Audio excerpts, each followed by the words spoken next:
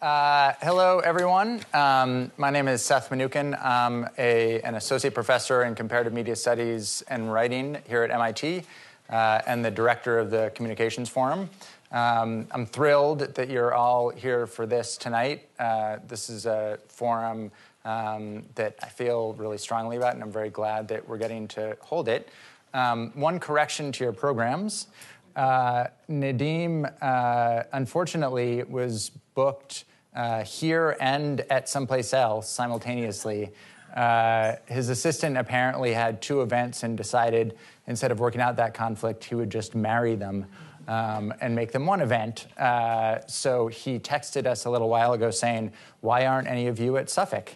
Um, so uh, he will not be here, um, but Hisham uh, will be here in his place. Um, and so, without further ado, let me introduce our panelists. Uh, down on the end, uh, Abubakar Abid is an engineering master's student at MIT uh, and a member of the Muslim Students Association, Muslim Student Association. Uh, he is currently working on building wireless communications and powering systems for edible electronics, which um, sounds delicious and awesome. Um, Layla Shaikley holds a master's degree from uh, MIT's School of Architecture and Planning, and she's the co founder of Wise Systems, a software firm that helps companies make real time delivery decisions, uh, and the co founder of TEDx Baghdad. Her viral video sensation, which we will definitely be talking about, um, Muslim hipsters or mipsters, uh, helped launch a national conversation about how Muslim women are represented. Um, and uh, Hisham Bedri is also an alumni of MIT from the Technology and Policy program, uh, where he studied new imaging technologies and their implication on privacy. Uh, he was born in the Sudan uh, and grew up in my hometown, in my hometown of Newton, Mass. Um, uh, so, which makes me very proud. Um, and again, thank you so much for uh, stepping in literally at the last second. Um, so. Abubakar, I thought I would um, start with you. Um, and one of the reasons I thought I'd start with you is because initially the other two panelists were going to have a fairly public profile. Uh, but um, uh, uh, Layla, I know you've dealt with um, reactions online to your uh, to your work and to you.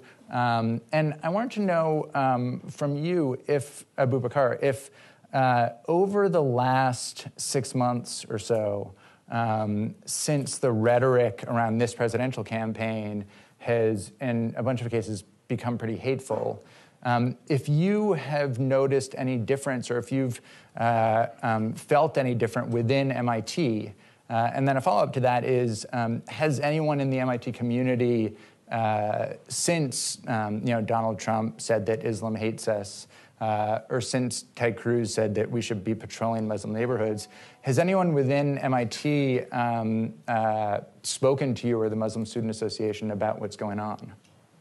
Thank you, Seth. Um, first of all, I want to thank you and the rest of the team for organizing this. And, and I want to thank everyone in the audience for coming out. I think this is a very, very important um, and critical, crucial discussion that we need to be having right now, especially given the kind of political discourse that we're hearing.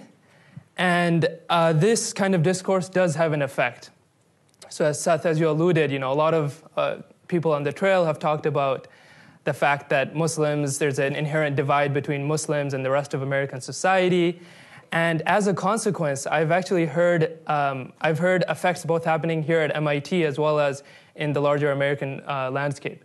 In fact, I, just a couple of weeks ago, I talked to an MIT um, Muslim student who told me that uh, so she's a she's a Muslim woman. She wears the hijab. She's very visible. Uh, she's a very visible Muslim, and she told me about a series of disturbing incidents that she had experienced over the course of just a couple of months after these incendiary remarks had started. So one of the things that she told me was that you know she experienced just as she was grabbing uh, lunch at one of the cafes around campus that one of the servers started shouting at her and accusing her of all sorts of terrible things.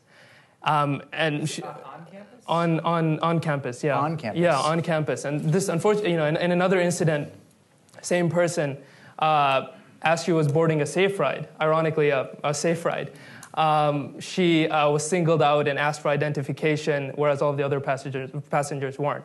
And there were other incidents as well, but the point is that um, I think that I, I think there's a couple of things. One, that these incidents are happening, but two, that even me as a Muslim student on campus, I was surprised and shocked to hear these.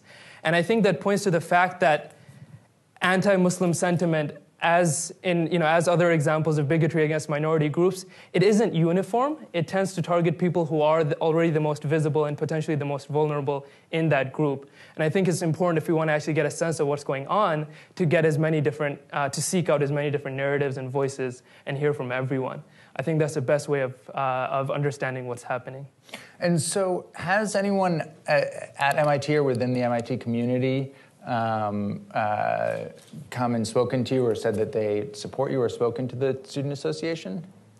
Yeah, so we're fortunate. I think one of the one of the one of the great things about the MSA, the Muslim Students Association on campus, is that it serves as a vehicle for um, interfaith dialogue, for uh, building rapport with other student groups on campus.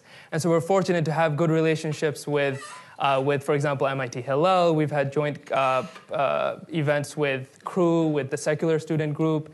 And so we have received a strong amount of solidarity and messages of support from these other religious groups. And we're very grateful, actually, to the uh, um, I know Rabbi Fisher actually reached out to us specifically, specifically supporting uh, what you know as a sign of solidarity with the Muslim students on campus. And we've had similar support, statements of support from other groups. So we're seeing both. You know, on one level, organized student groups and most students on campus, I think, are supportive of the Muslim, MIT Muslim students here. But at the same time, we are seeing these occasional incidents where Muslim students feel threatened and feel vulnerable. And and uh, it sounds like you're being very apologetic, but should I? Am I correct in assuming that no one in the administration has reached out to you? Oh no, I, abs- they have actually. Oh, okay. oh absolutely. Okay. That's okay. just an omission on my po- no, no. my point. Both the president, we recently met with the VP, and they've been extremely extremely supportive. Okay, great. Um, uh, Layla, uh, so I mentioned um, your Muslim hipsters video. Um, I'm going to assume that not everyone is familiar with it. Um, so I want to know if you could tell us uh, a little bit about that and then also a little bit about the reaction to that. Yeah, definitely. Um, it's a pleasure to have you all here tonight. So thank you guys for coming. Um, to make the very clear distinction, I always. Um, so Abu has done this incredible job in taking leadership within the Muslim community and really trying to be a leader and, and developing the MSA here. I'm totally here by accident, and I'm generally at these events by accident. And I effectively became a public figure by accident. Um, so, to give you, to kind of take 10 steps back, I was a teenager when 9 11 happened, and I saw the big shift of the perception of Muslim women, right? Before 9 11, my mom wore, wore the hijab, the scarf, and my sister did, and it was usually fine. You know, people would ask, Do you get hot in that? Do you shower in that? But that was effectively the extent of, of you know, the funny remarks that we would hear after 9 11, um, with this otherization of Muslims across America that we'd all experienced, alongside, I would say, a lack of really differentiating reporting that indicated kind of the, the realities of, of, Muslims in America and really the fact that we are just generally citizens. Um, led, led, to this otherization of, of us as a population. And I would say that Muslim women, and especially those who choose to cover, were typically the first victims of this, right? Alongside random people like Sikh men who aren't even Muslim, but you know, people were so upset that they, they just unfortunately bared the brunt of the storm as well. Um, I happen to be one of those Muslim women, and I, I chose to cover growing up, and I, I, I still choose to cover. And um, it really led to a adolescence of apologeticness, quite frankly. You know, that's not like me. I'm not like them. I like fashion. I like tech. Um, I worked at NASA. I'm like some literally tech geek, right? And there was a certain point, I would say, when I hit 18, 19, 20, that I realized that I was just, I was over it. The jig was up. What was I apologizing for? And why did I spend so much of my effort and my energy apologizing for something that I was unrelated for? We're all Americans. We should not all be apologizing for Donald Trump if you don't support him. If you do, I mean, okay, bad example. We're just going to stay out of that. Nevertheless, um, we shouldn't all be apologizing for, for the KKK. That happened in America. If you're unrelated and you don't respect it, it's a really unfortunate set of circumstances and type of person, but they don't represent us. We feel the same way about, you know, these, these fringe terrorist groups. Nevertheless, um, I decided to take action instead of just be angry and upset, and my passions were tech, space, and fashion. Um, I was much better at being a creative than I was creating cool rockets. So I, and my friends and I put together a music video, ironically enough, to Jay Z's "Somewhere in America," and it was really an authentic video, really benign video of a bunch of Muslim American women doing what they love to do most. I used to love to skateboard. I still enjoy it. I can't say I have the time. I'm also 30, so it's getting to the age where it's kind of embarrassing. Um, but I was, I was skateboarding. That's not true because I'm 43 and I still have my I'm like so not politically correct tonight. Actually, uh, I'm taking my engagement pictures on a skateboard. so effectively, my friends and I put together th- this video and um, we released it to the internet, not expecting much more than kind of creating some sense of awareness to people who weren't Muslim. That was our target audience. Um, I happened to be in Egypt at the time on a UN mission, so it was my nighttime when it was daytime here, and we read all like you know the statistics on when the best time to drop a video was. And I woke up in the morning and effectively had gone literally insanely viral, and I was like, oh my goodness, like what what do I do now? I'm in Egypt, I'm on a UN mission. Like, what if they see me on heels and a skateboard? Like, is this going to affect my job? Um, so I rushed back to the United States. That's not true. It just happened to be the end of my mission. And um, I, got, I got back to the stateside and realized this, this whole incredible dialogue had formed. And the first people to take up the dialogue were Muslims. Um, Muslims saying, hey, dude, like, this doesn't represent me, so I'm not really sure why you put this out there. To which my response was like, that's great, that's the point. Like, we're not one person, we're many different people, and this is my narrative. Um, I let that kind of settle out for, for a few months, and then the response came from the mainstream, and we were picked up from everybody from GQ to Cosmo to Glamour. I think I'm the first woman in GQ who isn't in a bikini. It's incredible. Um, to Cosmo to Glamour to Marie Claire. And we, I just kind of watched. I sat back and watched as this dialogue really formed on who Muslim women are, what they're supposed to represent, who can speak on their behalf what is a Muslim woman? How, how loaded is this statement? How loaded is this piece of cloth? So, as this incredible, incredible dialogue literally evolved and this video became oddly iconic, um, I, I, just took a step back and soaked it up, and then in fact, eventually wrote a piece in the Atlantic just summarizing it all. That if you're interested in this, I suggest you, you read because it really is a very open view, straight from the depths of my heart, to this whole experience. Um, I think I've probably spoken too much, but I have a lot more to say, so I'm going to let you ask questions before okay. I keep we, talking. We, we, can, we can come back to that, but, but just um, briefly, so what were, uh, so you said some of the reactions were, um, uh, you know, this isn't what we are as Muslim women. Um, what were the reactions from the mainstream press when GQ or Marie Claire covered you? What was what were they covering essentially? Muslim women are so cool. These women are so hip. Muslim women into fashion, like stylish Muslim women. Um, it was all about just effectively this particular uh, medium of creativity we had chosen, which was fashion. Right. Um, and they were just talking about, I mean, one of the women who was in our video is now the first Olympian for Team USA to wear hijab, Ibtihaj Muhammad. She the fencer? She's the fencer, so she's in our video. She's incredible. Um, my sister's in it, who happens to be the attorney for the, for the Clinton Foundation for President Clinton, who's like a rock star undercover. Um, pun intended. And yeah, thanks for catching that. um, so there was a lot of really clearly intelligent women, and some women chose to be artists or, you know, community builders, but we really focused on the fashion. So people who effectively would delve deeper would be like, whoa, this keeps getting cooler. Like, what? She's super smart. She's doing such cool things. So I think it was just a lot of awareness to kind of another angle of Muslim women in America that quite frankly isn't isn't represented often enough and I'll take some blame for that because as a Muslim woman I could probably represent it myself which is why I did what I did. Um, Hisham, so when did you when did your family move over and did they move directly from the Sudan to Newton? Yeah, so actually uh, we moved over when I was maybe about a year and a half years old.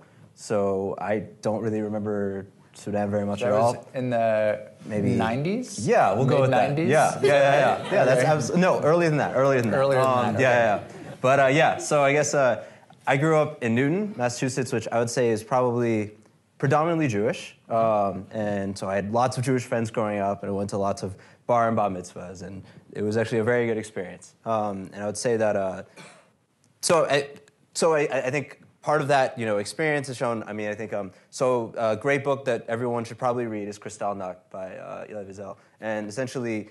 They're, they're talking about the issues of the Holocaust, and more importantly, also the issues of what led up to the Holocaust. And the, trust me, this is not to compare directly anything to the Holocaust, but I want to do is, you know, they do t- talk into the concepts of hate, how that really grows up and how that happens. Um, and I could say that, you know, uh, beyond just like the physical or even, you know, mental stress that Muslims get placed under, there's also the concept that their struggle, Muslim struggle, is very much associated with like the American struggle in general. Um, and I think that unhinged remarks against Mexicans or women or even you know Muslims and everything like that, you know, sort of shows that you know we're sort of being placed in a situation where we are definitely otherizing. And the issue when happens when you begin otherizing is you start seeing things like hate and the others. Um, ultimately, I think the antidote to that, and I think Wiesel talks about that a lot, is you, know, you, really need to start standing up for other people. Um, anytime you, you say standing, standing up for, other, other people. people, or anytime something happens, you need to understand that that's you know like it's a direct attack on me just as much as a direct attack on, on other people. Um, as soon as we see like underrepresented voices or minorities in check like that, I think you're going to see. Uh, you know, essentially other dire consequences happening.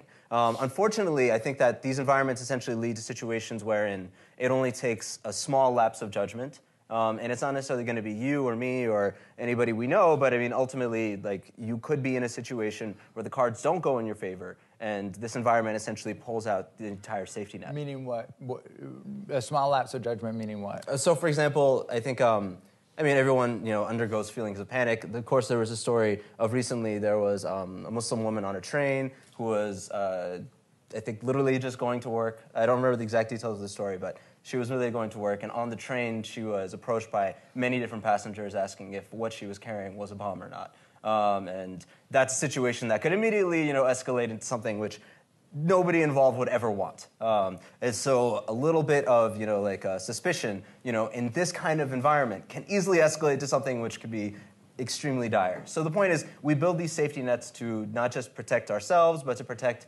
those around us. And I think that you know, as soon as we see kind of hate speech flying, we have to realize that you know it's going to affect everyone, anyone who's an underrepresented minority, anyone who has a voice that's different from other people. And in the end, that's what a democracy is about. We all have voices which are slightly different. We need the room to be controversial. We need the room to also be different. And without that kind of safety net, we're going to essentially see bad stuff happening. And so th- that that's interesting, and it uh, it reminds me of um, I think in 2014 in Sydney. Uh, there was after a gunman held people hostage in a cafe. There was a um, was it "I'll ride with you," the "I'll ride with you" movement, where uh, um, where Australians were uh, speaking out and saying publicly, um, if you are Muslim and are worried about uh, being harassed, I'll walk with you, I'll ride with you. Sure. Um, have you seen similar things happening here? Uh, yeah, for sure. I think, yeah, I think uh, let me come up with some specific examples of Abubakar, and all right, you guys gonna have to yeah, help me think about it. But I you think can jump um, in. Yeah, yeah, but I would say that you know I think in general the MIT community has been extremely supportive. I think a lot of the interfaith community here at MIT is also extremely supportive, as well as you know like uh, the higher up you know um, administration level. But I think in general most MIT students are just great people to talk to, great people to um, you know, uh, just have a conversation with, and I think that really becomes a thing. I would say from my experience, I've yet to meet somebody who hate Muslims. Uh, I've met, I haven't met somebody who hates Muslims who knows a Muslim. I think that oftentimes that becomes a problem. That essentially, we are a minority. We aren't necessarily out there, and just like you were saying, very underrepresented. So what happens is you have lots and lots of people who've never met Muslims before, who are only see like the bad things, which are essentially just serialized in the media, and essentially things become bad. No. Were you going to jump no, in? I Yeah. just I can just add on to that. I think one of the one of the issues is while uh, while Muslims are fairly integrated in, in, in, in the United States, there are huge pockets of geographical areas where there aren't many Muslims. And in fact, uh, the problem is that you know people living in those areas don't know many Muslims, and they are because of that they're resistant to learning about Muslims. And oftentimes you hear stories, for example, where um, Mus- uh, where parents are concerned about their children learning about Islam or Muslim, Muslims in schools. And so there, there, there, was this recent story where, for example, a school district in Virginia uh, shut down because the, one, of the, one of the parents saw that their children were learning about Arabic calligraphy in class. And so that kind of resistance to education about Islam and Muslim, I think, creates this unfortunate cycle where you have people just never learning about Islam and Muslims, and that perpetuates anti Muslim sentiment, and you just see it persist. So I think it's very important to actually uh, end this cycle before before it becomes you know continues to be a problem. And so, outside, uh, you know, we're we're within a community um, that is not representative of the United States. Obviously, I'm talking about MIT um, in some ways. Yes. Uh, um, uh, probably in a lot of ways. Um, but uh, so, outside of a university setting. Um, uh, are there steps that are being taken or that should be taken? Um, you know, you, you, talked about speaking out against uh, when you see hate. Um, and if you look at again, you know what Ted Cruz has been saying, what Donald Trump has been saying, um, what on a local level politicians have been saying uh, across the country, um, it's pretty scary stuff. Uh, and in my perception, at least from outside of the Muslim community, is that it has not been met with as robust a, a, a, reaction against that um, as you might see. Yeah, I mean, are you talking about from outside of the Muslim community or within? From outside the Muslim community. Yeah, from outside of the Muslim community, absolutely. Which, um, I mean, it's a tough issue, right? Because within the Muslim community, you hear this criticism sometimes from the outside saying, well, if you're not one of them, why don't you stand up against it? And first of all, many Muslims, if you're not one of them, like one of them, terrorist. meaning a terrorist, effectively, why right. don't you stand up against it? And the truth is, if you check any of our Twitters after any attack, it's always a clear, like, you know, hearts out to the victims, et cetera, et cetera. But th- there's a real reality to it. And the reality is that ultimately, when people, when especially a whole population of people, spend their time being defensive, they're not doing something else. So when I'm not being defensive about who I am, I'm usually building something. In the, at the moment, building a company, right? To effectively be a good daughter, a good sister, um, really contributing to something greater. And I think that that is really one of the biggest challenges of people our age who happen to be Muslim is there's so much energy that as a result of this lack of education is being wasted on being defensive and being apologetic when effectively at the end of the day I'm unapologetically American. Um, and there's really nothing, nothing for me to apologize about. And and and you you uh, you raised you know the, the, the fact that oftentimes after a terrorist attack or even not after a terrorist attack, um, uh, you'll have people saying, well, why isn't the Muslim community speaking out about this? Um, do you think that that's a situation where when uh, Muslims do speak out, it's not getting covered, or that people aren't speaking out uh, within the community for fear of drawing attention to themselves or something else? No, I think I think anybody, anybody who's afraid is gone by now. it's what, been what do you mean? And in other words, after their September 11th, there was awful events like you know Belgium, there was San Bernardino. If you're scared of being a Muslim, you've cut. You're out. Like you're not. You're you've not. Left the, you've left the maybe affiliation, the association. You've Americanized yourself. You've assimilated in other ways, and you're not partaking. So now you've left the U.S. But no, you've you're not partaking with that identity. And we we all have friends like that, and that's fine who just effectively don't want to deal with the criticism and have assimilated in ways that they've effectively absolved or left their, their original identities, and that's not my choice to make, right? So a lot of the Muslims that you see now that are choosing to look and be Muslim have made a very conscious decision to do what we're doing. Right. Um, because there's been many like opportunities to walk out on the identity as a whole. I would say for, for Muslims my age, it has to be a choice. Um, because you are constantly dealing with so much backlash on an everyday level. Like, to be quite honest, I was at the airport yesterday. I didn't even think twice. I just put a hood on. I'm like, I'm not going to wear my hijab. I don't want to put up with this. Right. You know, like I, I need to get to Boston. I don't want to be randomly selected again.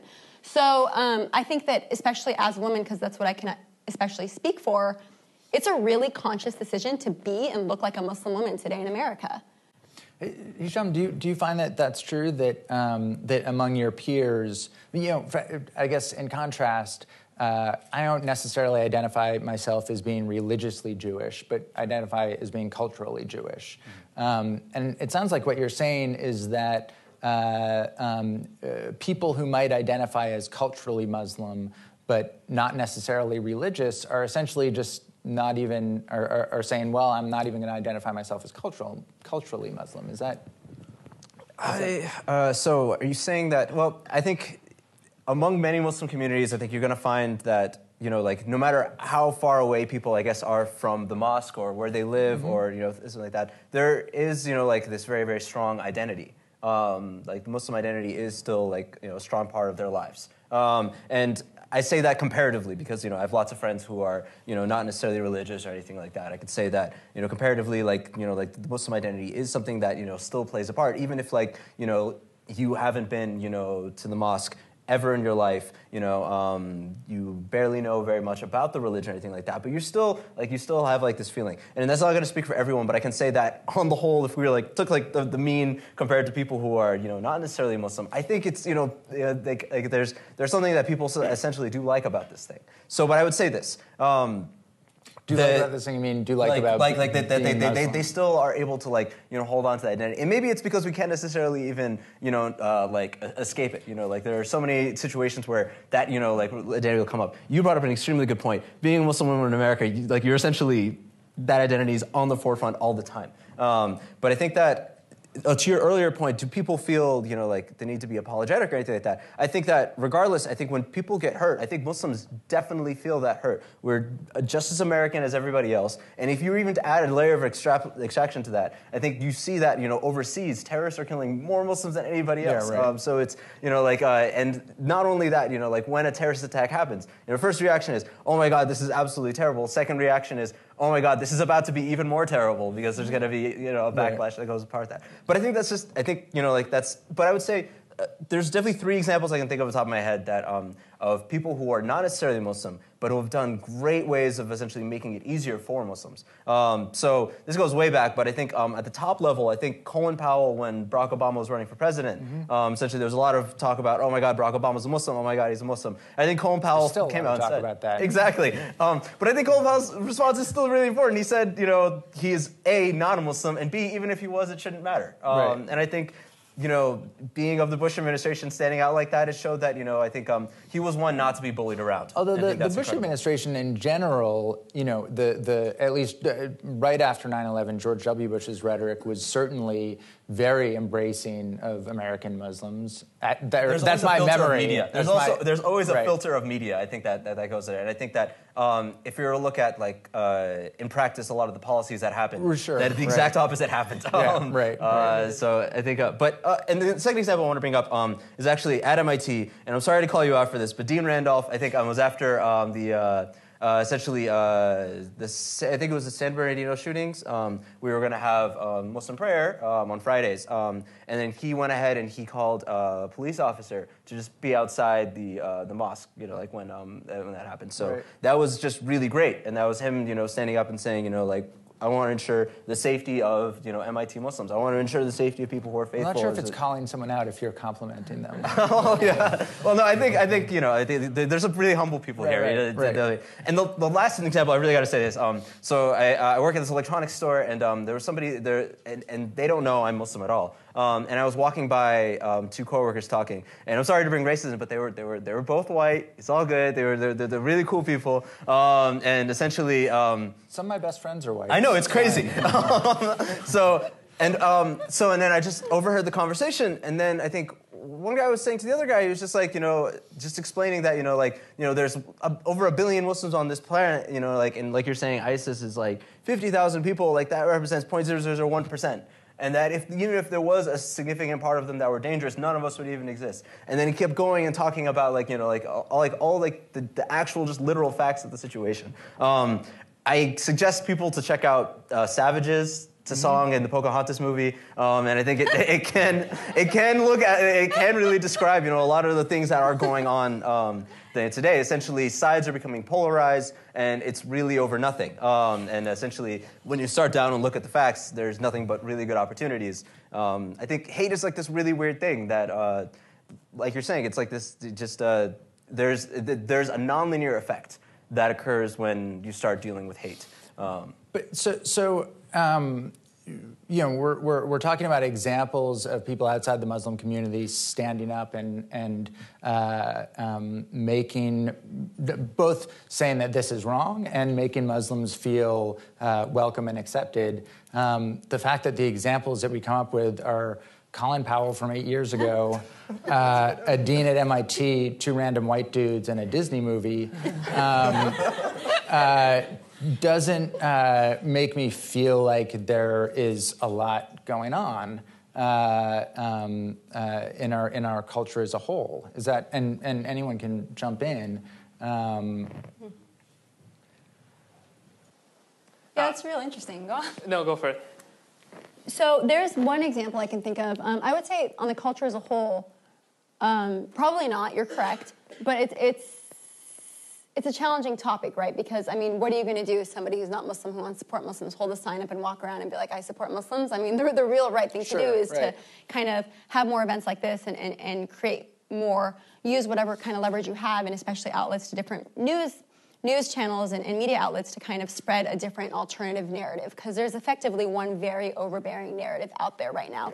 I would say in the last three, four years, the narrative has become a bit more diverse, and you see a lot, a lot. Um, different angles kind of coming out about, about Muslims, particularly in America. But so- to, yeah, go no, on. Go on. No, no, no. But to go back to your initial question, my mom is like this incredible rock star. She was at one point in her life an orthodontist.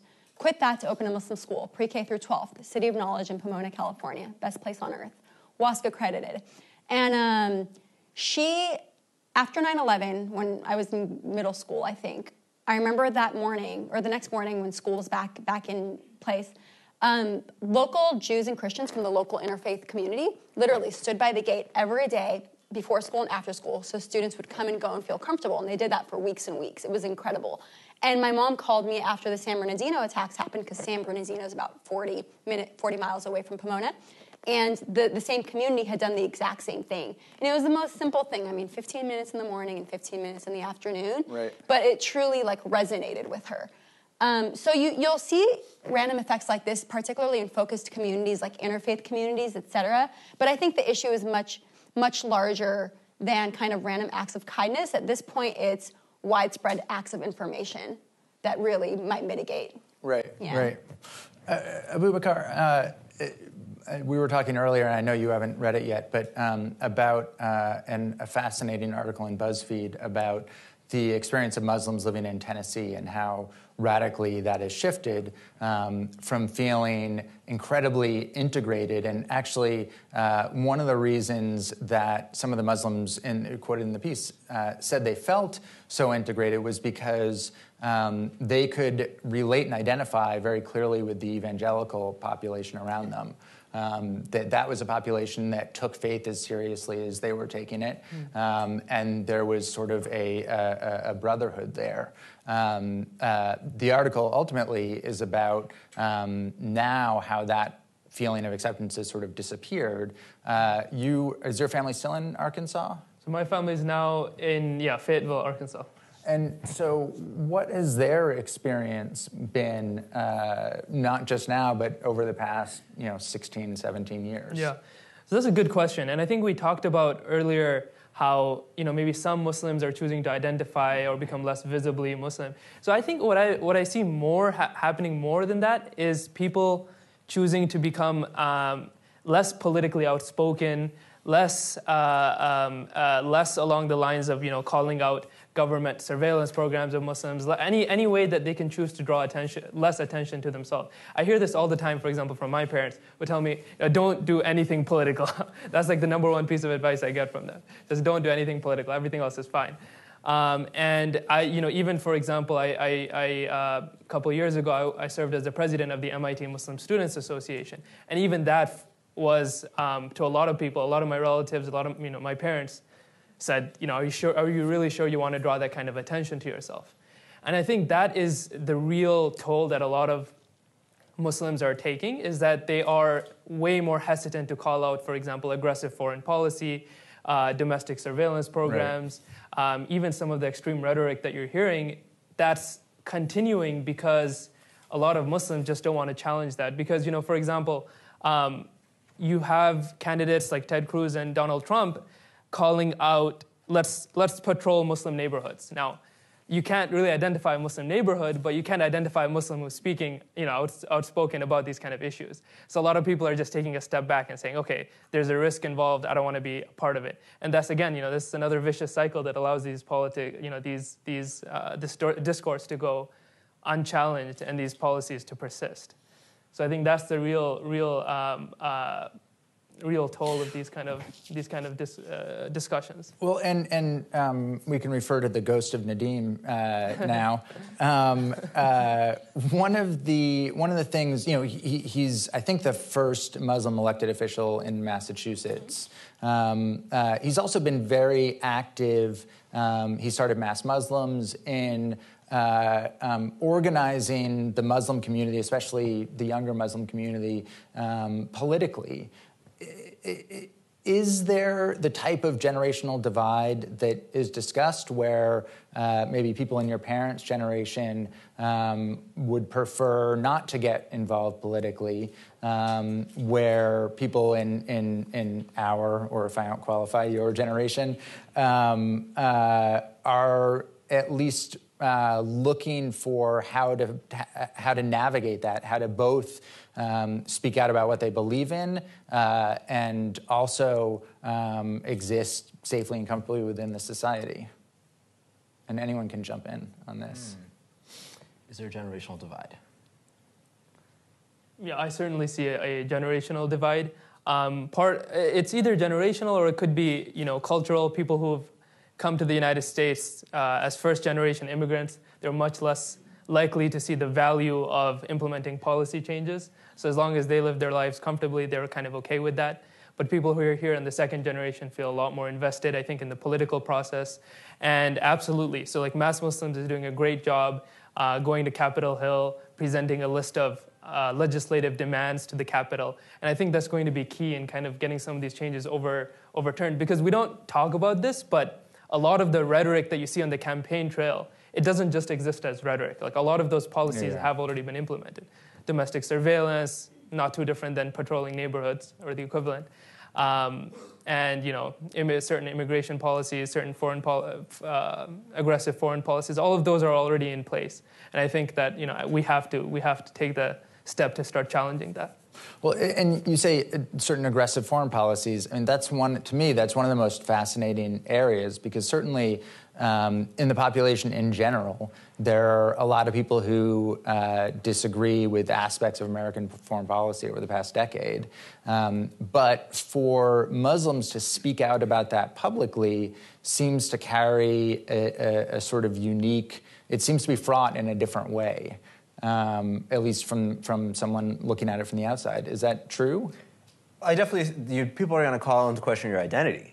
Uh, if you how American you are, right? I think um, as you as you start challenging foreign policy, like, oh, you care more about these people than you care about your own people, or things like that. Um, but uh, I don't think people should be all that worried about that. I think um, there's a lot of foreign policy points that people make, which I think are very much universal. I think blowback is a terrible thing, and I think that uh, I think you'll see amongst many Muslims, you know, like they share the same kind of opinions with, I think, like you mentioned, most of the country that, you know, uh, if you have bad foreign policy, you know, it can lead to bad results in the future. I don't know about yeah. most of the country, yeah. but it feels it might feel like that in Cambridge. But sure, yeah. sure. I think yeah. Um, in terms of the generational divide, I think um, what you may see though is uh, I don't know if the, the, the, correct term is generational, but I would say that uh, so far from what I've seen, we're just becoming more politicized. I would say that um, Muslim populations and Nadeem has done, councilman has done a great job essentially instituting a lot of uh, you know, initiatives and finding people who are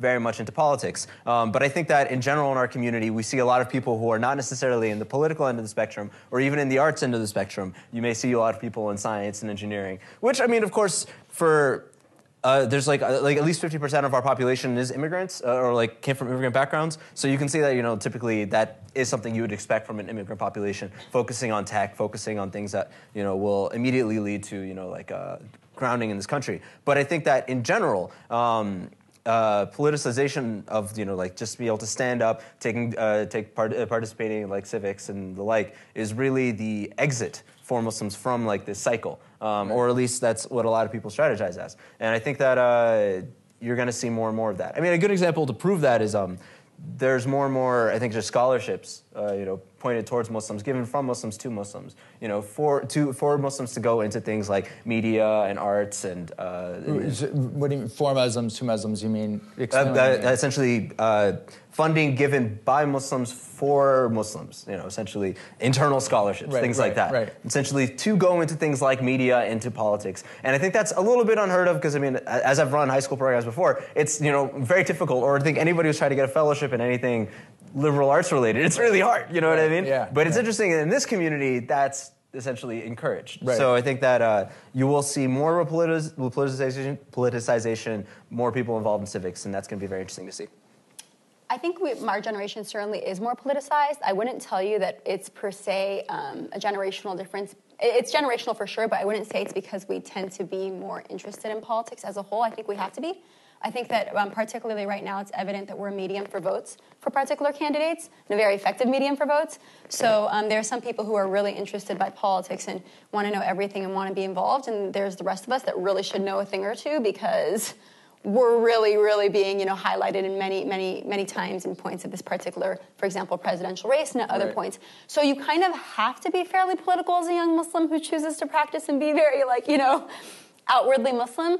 Um, because as I said, we're, we're, we're, a medium in, in this particular race. Is that, is that do, do you to both agree with that? That to be a religious Muslim um, at this moment in history in the U.S. is inherently a political act as well as a religious act?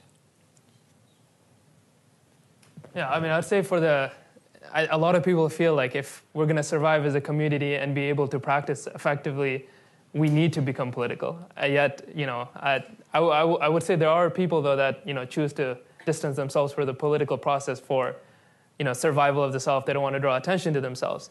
Um, you know, I because I'm in the Muslim community, you hear stories all the time about, for example, the New York Police Department sending undercover agents that pretend to, for example, convert and become Muslims, and then they join the MSAs, they join the Muslim Students Associations, and then they just, you know, they embed themselves as undercover agents. And what that does is, I've had conversations with so many students when I encourage them to, Muslim students, when I encourage them to come to MSA events, and they'll say, ah, you know, I don't know, I, I don't want to be too political. That's their answer. Mm-hmm. Political, not religious, because they're, they're torn, right? So they want to practice their identity, but they just feel so much safer practicing it alone. So I think, you know, for the long-term survival of the Muslim Students Association, yes, absolutely.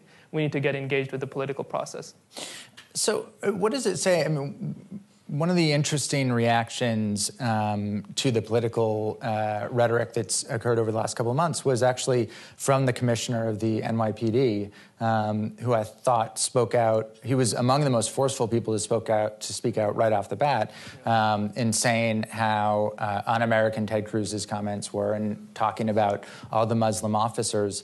The fact that you have that coming from an organization that has been really heavily criticized um, for its surveillance tactics. Uh, what does that What does that say? Linda Sarsour is doing a great job. she's, what, what, Linda what? Sarsour is doing a great job. No, um, Right. she's uh, so she's, she's she's also an activist in the area, and I think I'm really glad that he actually came out and did you know make those comments because I mean I think it. Uh, and I think what was awesome was seeing those comments on places also like Fox, Fox News and you know broadcasts that you know aren't necessarily usually carrying Right. this kind of information. So I think that's absolutely awesome. I'm Um, going to be a little bit more cynical. Uh, uh, I think that one of the maybe a silver lining in this presidential campaign has is that the, uh, for example, issues like the surveillance of Muslims has become politicized in the sense that you know one party has now become asso- becoming associated with it. So perhaps members of the other party are kind of distancing themselves and say, oh, this is actually not us. Even though maybe five years ago everyone would have been kind of fine with it. It was kind of low key and it So- was so- happening. but now people are forced to confront it as a political issue. So you think five because because certainly both Hillary Clinton and, and Bernie Sanders have spoken out very strongly. You think five years ago, before it had become the political issue it, it is today, that that was not the case, or that wouldn't Yeah, I have been think the case? I think you only need to look at the the change in stance of the police commissioner himself. I don't know if it was the same same police commissioner, but I'm imagining there was more alignment in policy than there is now. So I think I think things are changing to that extent. But then the problem with it becoming a political issue is then half the country is now in favor for it and half of it is against it. I mean, we ideally want to get to the point where everyone feels it's wrong. and, and what in favor or against what? Uh, programs like keeping a closer tab on Muslims, Right, okay. a Muslim patrolling, that kind of thing. You can talk about the details of that of that program. It was pretty, pretty Oh, uh, crazy. uh, absolutely. The you know, NYPD uh, program. Right. Yeah. Right. Yeah. Yeah. Yeah. Uh, essentially, they, they, they, they had they'd essentially been monitoring or surveilling or had informants in essentially uh, MSAs and other essentially Muslim mosques. organizations and mosques. Um, which here's the critical point: even beyond New York, into other states such as New Jersey and uh, the rest of New England. Um, so it was a very large and extensive program. And the thing is, that's you know these are the programs we learned about now, and essentially the questions are, what are the kind of things that were happening even before? What are your thoughts about that? Yeah. So I was the one who kind of mentioned that some Muslims don't choose to be political; they just become politicized. I'm one of those.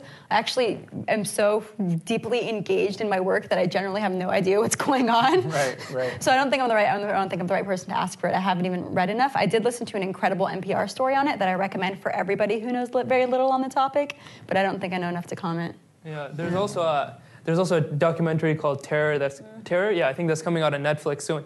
Very interesting. Just The whole- called Terror? Yeah, I think it's the- just called okay. Terror. Oh yes, Terror T and then in parentheses error. Okay. No, but the idea behind that documentary is it's actually very intriguing. They follow a, a live FBI entrapment scheme um, as it's happening. They're able to get some reporters, and apparently the FBI doesn't even know about it. But uh, no, but I think that's really the scary part because it's to the point where, so this whole idea of entrapment, where FBI agents are sent to convince potential people to commit crimes and then are you know get rewarded essentially for catching them in the act of doing so um, and then Or- yeah And in some cases, pressure those people to uh, then become informants. Right.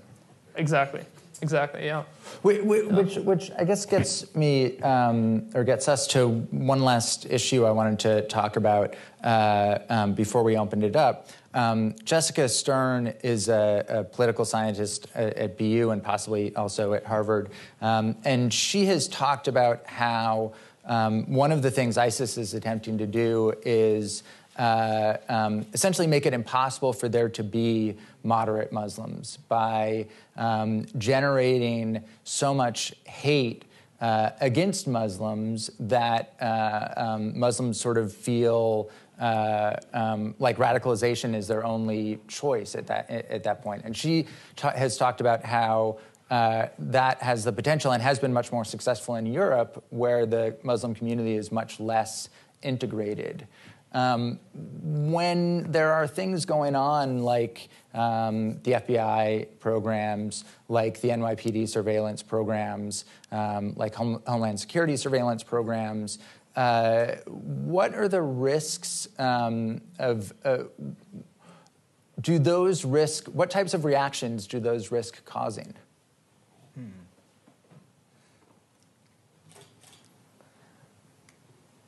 Essentially, what type of reactions do, do which repeat that one? The, the, the, the um, you know the, the, the surveillance programs. see, I see. Uh, um, you know, if you are worshiping at a mosque that you find out has not only been under surveillance but um, had uh, had had plants there, uh, or if you're someone who is entrapped and then pressured to become an informant or a situation like that, what what types of reactions does does that risk causing?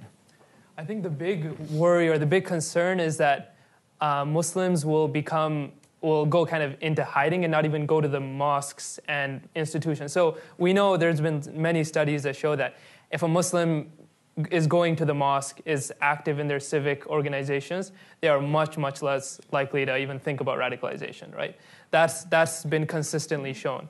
And so if you scare people, if you have, pro, you know, if people are protesting the buildings of mosques, if people are thinking that, oh, my, my mosque might be bugged, I think then there might be a concern that, um, that, you know, that people are going to get their information from the internet rather than from Right. institutions that are actually providing legitimate Islamic information.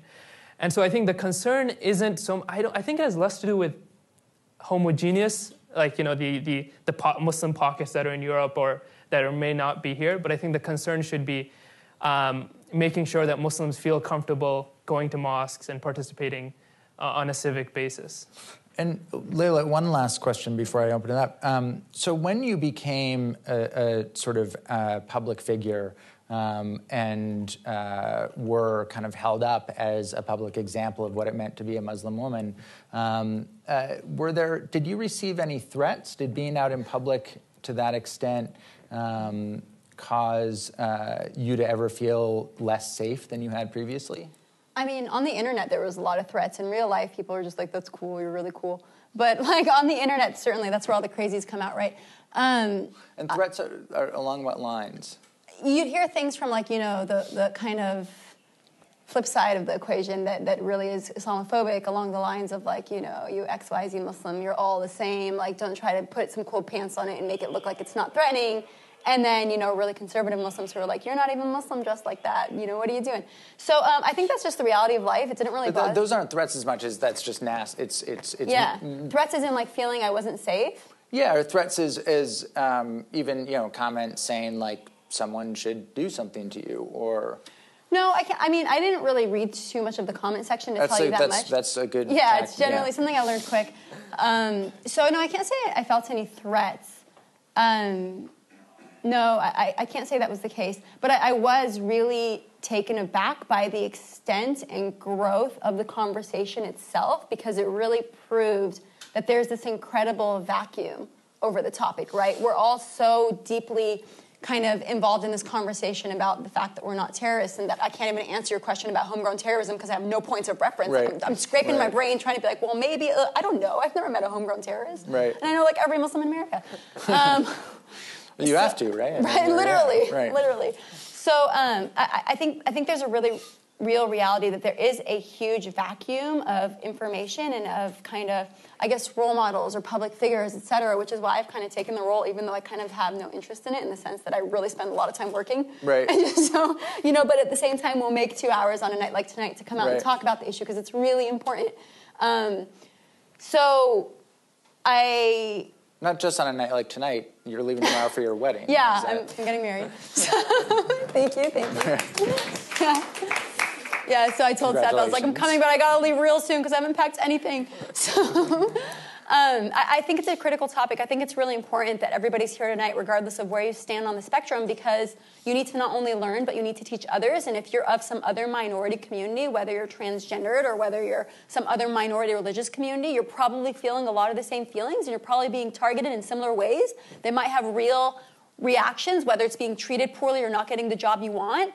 So the next time that you feel a little funny towards somebody, you should have some empathy and teach somebody else about your own circumstances and, you know, spread the love. All right, with that, um, why don't we open it up uh, to audience questions? We have two microphones. Um, uh, this is being recorded, um, so when you ask a question, please identify yourself uh, just so we know who you are. Hi, my name's Hisham Yusuf. Thank you so much for that wonderful commentary from all three of you.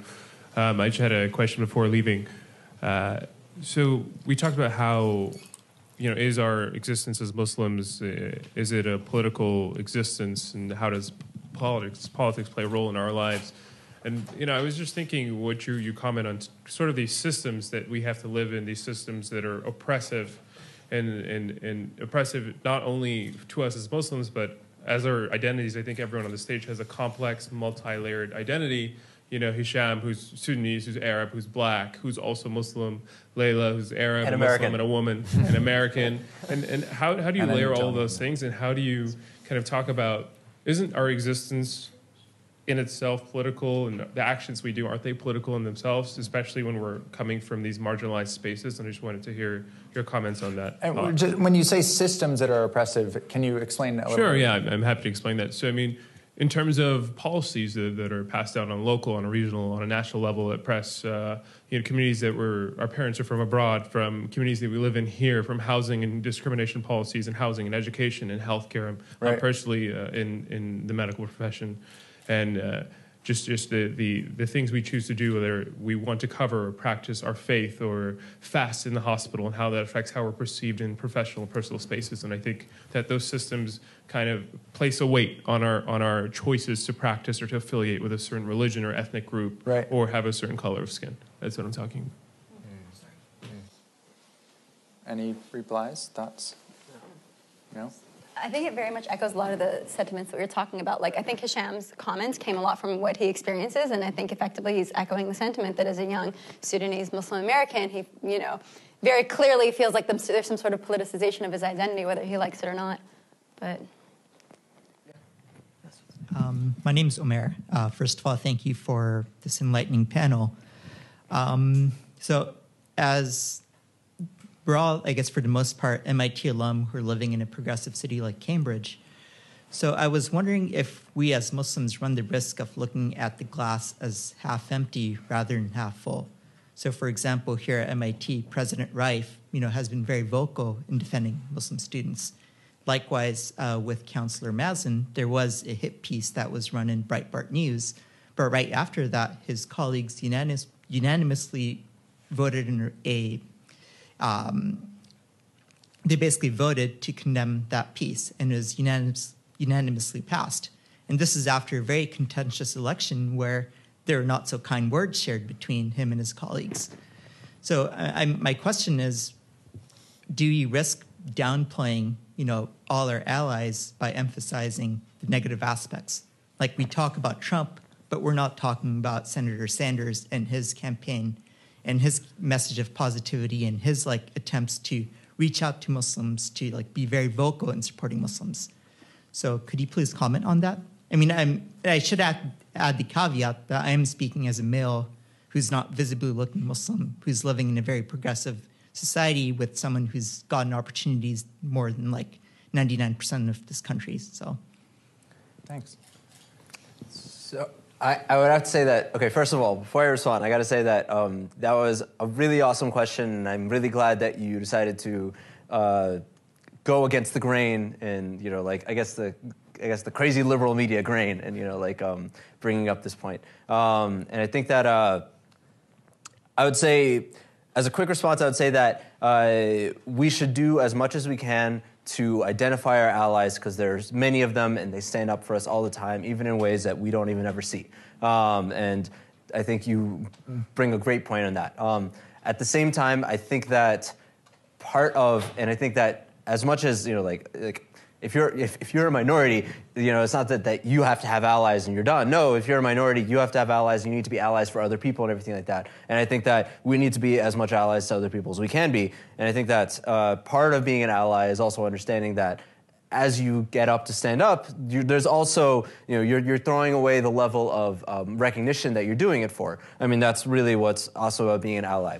I think you can have both you can have people both, you know, complimenting our allies and everything like that, and at the same time, you know, like allies not necessarily, you know, uh, asking for uh, recognition. Um, I think that uh, that being said, the positivity point only carries so far. Um, I would say that uh, highlighting people who we think are awesome and great and doing you know like really good stuff is very important but it doesn't carry as far as you know like uh, bringing up the specific points and the specific dangers that people face every day and i think that uh, one thing that you could explain is like for example like uh, there's there's there's a, there's currently a cemetery being you know, uh, built, Muslim yeah. cemetery, cemetery in Massachusetts. Is it being um, built now? I know there's a Oh, my God, only to be built in Massachusetts. Right. So I think, um, and and I've been in Milwaukee where they tried to build um, a mosque too, and I've, I've been to the public hearings, and it is a really, really and hard the, process. The, the Massachusetts issue, yeah. there's a huge debate, right, about Correct. whether it's going to be allowed. And, right, and, right, right. And essentially, like, and some of the comments were, you know, like, uh, you know, like, what are they going to do? They're going to build a cemetery here, and then they're going to build a mosque, and I'm like, as in, like, what's worse than a dead Muslim? oh my God, a live one. You know what I mean? Like, but um, but I think, uh, you know, highlighting those things, but you know, comparing that to say, like, you know, like Roxbury or Cambridge and say, well, look, Roxbury did this and they accepted the mosque and it did well for them, or Cambridge did this and they accepted the mosque and it's good for them. Um, I think there is a very strong media point to be said for focusing on places like this where things are not getting done um, than necessarily saying, you know, like Roxbury did a great job. And that part of the story will come in later on. I promise you, when they cut the ribbon, you know, and it opens up, places like Roxbury, places like, you know, like, like Cambridge and other places will be celebrated. Um, but I think highlighting the danger is very important. Yeah, and just to add to that, I think, you know, as I think I'm sure you mentioned in your question and you recognize, there are a, there's a spectrum of of vulnerability in many parts of the country. Uh, in different occupations, there are Muslims who are more vulnerable, and it's important to highlight their opportunities. And again, I just want to echo the point of finding allies. That's really important not only for the ethical and the moral and the religious mandate to stand up for what they're going through, but also I think very practically speaking, um, a lot of the media and certainly social media that we experience, there are these, you know, there are these echo chambers, there are these different lanes that people get their information from people that are, have very similar viewpoints. So I think from a very practical re- reason, it's very important to identify key people in different in, in, who can serve as different allies and get the word out and i think that's really the most important expression of solidarity that as a non-muslim one can make towards the muslim community and, and vice versa is really sharing us all just sharing our, our stories and our mutual understanding of of, of, of a mutual cooperation and kind of change, uh, challenging the narratives and challenging power structures that exist other questions Yes. Hey, Abubakar. How's it going? Um, it's funny to see you up on the panel because like, oh yeah, I know you outside. But uh, I was just really struck by the uh, the first example you gave of um, a friend of yours at MIT who had the server in the dining hall yell at her, and and I guess partly what I feel is like. You know, I wish if, if things like this are happening, I wish I knew more about that. I mean, maybe it's like a one of a kind, and then that's good to know. But Right. you know, if things like this happen, I'd like to know more about it. And so, what I sort of wonder is, is there a way that um, you know we can we can make make people more aware that things like this happen because like abstractly okay by reading the news i know okay there's probably some level of Isla- there's a level of islamophobia in america. But to actually hear a concrete example and, and like to think i could be you know i could be at an mit dining hall. And imagine if i were at an mit dining hall and you know one of the servers started yelling at me because of my ethnicity or my religion. And then to think that that happened. So I, I, I think it would be a good idea if, if there's some way to publicize the fact that something like this happened and, mm. You know, That's a good point. As I mentioned, I was surprised to hear that. So yeah, so you know, uh, absolutely, and and I think you know perhaps like anonymous services like MIT Confessions, for example, could be a good outlet. Um, or perhaps there could be an outlet that you know different minority groups who experience this could just share internally. Um, but absolutely, I think you bring up a good point. Perhaps there's there's there's room for um, a platform where people can share stories and, and bring it up to the attention of other students, faculty, administration. Absolutely. To kind of add to that, to not just this kind of idea of a platform or kind of spreading the word, and even to add to your, your first question in terms of, well, why aren't we talking this much about the good stuff that happens? Um, I, I do think that as young Muslims, I mean, everybody behind this stage, at least, I know for a fact, does not talk about terrorism all day. We all have day jobs and they're very busy and we're all doing really good at something and they're very diverse somethings, right? And I think that we're at, we're at a time where more Muslims also need to be acknowledged for being something aside from being Muslim, right? So, you know, if you're the best camera maker or whatever you do in that lab all, in all of America, and you happen to be a Muslim, I feel like we, we, we need to be sure to kind of help each other out with getting that type of press as well because there's a degree of humanization that comes with it. And what's lacking on a larger level is just humanization. There's a reason why some lady thinks it's okay to yell at a woman in her job for eating because she's Muslim, and clearly she must be an alien. To his earlier point, he's never met anybody who's met a Muslim who hates Muslims, right? That's generally how hate works. So, um, yeah, I, I think that in general, it's also a good idea to kind of not fixate too much on this conversation, but push your colleagues forward, regardless of who they are, and kind of get them that recognition in other spaces. Um, and as Muslim women too, I get so excited when I see people like Ibtihaj who wear hijab and they aren't just talking about how we're peaceful. She's like too busy beating the rest of the world at fencing, right? So I think things like that are really important. Sure. Yeah. And, and the case for, I mean, I think the proof of the Islamophobia, I mean, I think there's many ways of just, I think, proving it to yourself. There's very simple tests. I mean, you can walk outside and put on a hijab um, for, you know, just like, try it for a few hours and see what happens. Um, and you'll report back on your results. I think everyone would love to hear there's a guy, but I mean, no, I mean, yeah, yeah, um, yeah, yeah, yeah. I mean, also be like to hear that result as well. You know, like, I, I, yeah, no, no, but I mean, of course, to keep yourself out of danger. But what I'm saying is, um, that uh, it's, uh, it's, it's, there, there, there, there are ways of looking at it. Um, I think uh, when you, when you, when you take a look at the, the there's there's individual aspects of Islamophobia. I can mention many of them. They're all very real. Um, and there's the the individual like say incidents. Um, but what I'm trying to say is you know that what we're looking over here is like this overarching essentially you know like um, level of environment of fear, which essentially prevents people from living out their regular daily day lives as Americans. And let me be very clear. being part of America means that someday you can hope to run for president. Um, and a great example, no, I mean, that's, that's, that's a thing. Um, and if you have, you know, people like, say, like Ben Carson, I was so disappointed. I'm sorry. It doesn't matter what Trump says. I mean, he's Trump, right? But when you have other people who follow, like, who, who, who run in line and essentially say, you know, like, I would, I, you know, I, I wouldn't be happy with, you know, like a Muslim president or something like that, uh, things like this, you essentially see that there's this aspect of fear which sort of hits up to the high level. Like, I can tolerate Muslims as long as they do this, or I can tolerate Muslims as long as they do that. But that's really not what people are asking for. This is not really how, you know, we should feel comfortable as being Americans. We should be ashamed of having anything less than accepting of all Americans. I think John Esposito said a really great thing once, and he essentially, um, in a talk, he essentially said, people being afraid of mosques being built in this country because they're afraid of terrorism is like saying people should be afraid of, you know, like a Catholic church being built because they're afraid of child abuse. And I think that that's a really great point. Like, what is it that, you know, like what blinders do we have on that have caused us to, you know, essentially, you know, seeing somebody else who, like, literally acts the same, lives the same. There's a poet named Nabil. He's great. He has a great poem about how he's just uh, just like you, um, and everything is exactly the same, but yet is considered an other. And it, if it can happen to Muslims, it can happen to anyone. And I think that we just need to understand like what what is the house that we're all building together? What does it look like? What does it accept and what does it not? And I think when we think about it that way. Thank you. Yeah. Thanks. sorry. But I guess, I guess what I was going to say is that, like, it seems that part of the, what can happen is that, you know, maybe if I walked around looking like very clearly Muslim for a day, nothing would happen. But things happen once in a while, and it's those few incidents that can make that can create fear.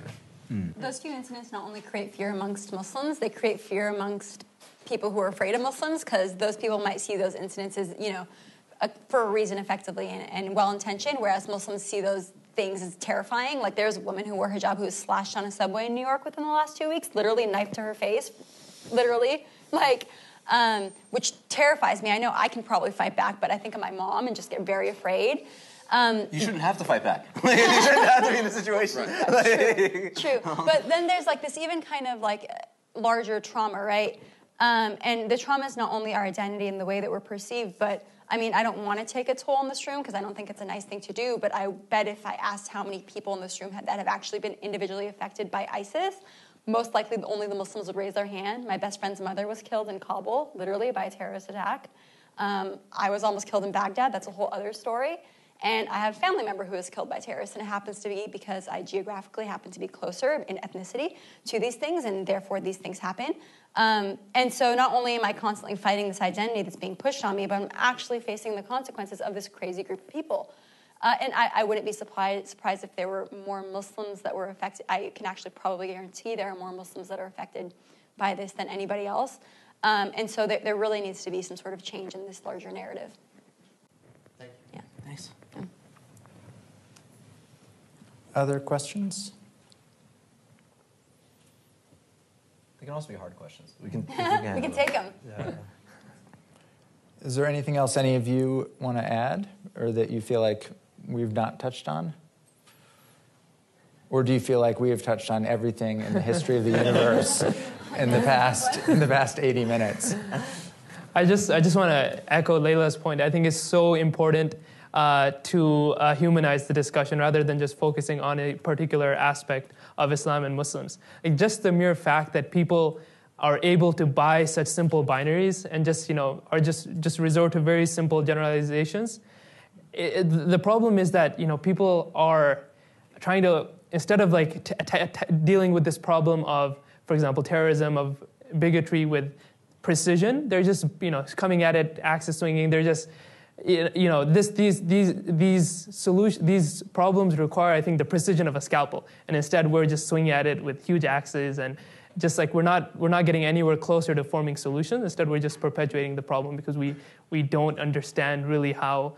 Um, Muslims in the US think. We don't really think about how people in other parts of the world may think. So I think it's really, really important to just bring this discussion down to a human level.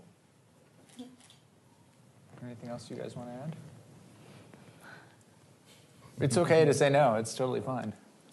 No, I'm just kidding. No, thank you guys. Honestly, I, I'm sure that everybody had other things to do tonight, and it's a really important conversation. And you should know that not only do I not hope that you will never be victims of some sort of otherization in the future, but if you are, many Muslims will be by your side. so including us. Yeah, Yeah. thanks you guys for all for coming out. Um, I think that uh, maybe we're preaching all to the choir because everyone's here, you know, trying to. Essentially, uh, it's also people watching at home. I think um, probably that's the case too. Um, so the question, I guess, you know, that bec- that comes up is like, you know, like how do you reach people who essentially are not of that mindset and who are not, you know, like um, along those lines. And I think it's really important to look at the, I think, statistics of it. I think that I don't know if anyone's done this plot, but if they can, you know, try to correlate, you know, Islamophobia or even a lot of like this hate speech to election cycles, I think that may bring up. A, we have a joke in my house. It's like, oh, it's election season. No, it's Islamophobia season. Uh, it's not election season. No, it's That's a- it's that's a barn season. burner I mean, of a joke there. Yeah, yeah, I mean, yeah. Um, but uh, but I think I think that that is really interesting, and um, I don't know. Uh, maybe we got to ask a deeper question. You know, like um, you know, uh, why are we why are we doing this? You know, to to get elected. I think that's a really really hard question. I don't think that's the kind of place we all want to live in. Yeah. And maybe just to uh, continue on that point of uh, how do we reach people who aren't here? Uh, I mentioned earlier that oftentimes social media acts as kind of a social, uh, uh, of an echo chamber where you, you are restricted to people who share your own viewpoints. But I don't think that always has to be the case. Just this morning, I saw this very interesting campaign by the country of Sweden to actually have a, they have the first ever national phone number.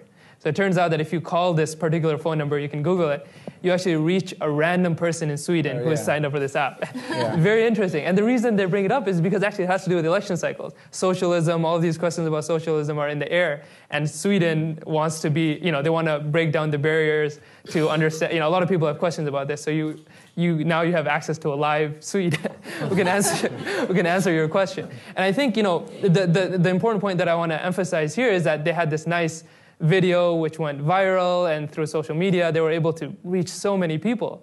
I think it's important to start looking at that as a model and, and you know uh, building off of that. And i think a lot of misunderstood marginalized communities can follow suit. I think that answers his question in the blue to what the solution is. You should have a call a Muslim Set, set up, hotline. set up a, yeah, right, literally. right, right. random call. Call them center. Muslim, yeah I mean, we, we, we do have a running program where any Muslim you approach, you can get tea from them. It's you get, you can get tea very. Religious, religion-wide It's, it's, program. it's, it's an obligation. You can literally talk to any Muslim. They will give you tea. You can mark my word. Any Muslim, any tea, anytime, any tea. Not any tea. We'll see. Yeah. Um, well, thank you, all three of you, so much for coming out. Um, this was, uh, I don't know whether it was preaching to the choir or not. Um, it was helpful to me uh, because even though I knew where I stood on the issue of the rhetoric and Islamophobia, um, I hadn't spoken with a lot of Muslims about their day to day experience. And I felt like it was difficult for me uh, to speak out to the extent that I wanted um, if I was speaking from a place of ignorance. So uh, I really appreciate all three of you coming out and, and sharing your experiences. Um, I thank all of you for being here. Uh, we do events like this three times a semester. Um, we have an email sign up sheet right over there, and if you sign up, we promise. Uh, not only do we promise we will not spam you, um, you might even want us to email you more. Uh, because we typically, you will only get about 12 emails a year from us. Um, uh, but, uh, and you can find all of our past forums online. Um, for many of them, there's uh, audio and video um, and a write up. Um, and this will be posted likely early next week. So thanks a lot.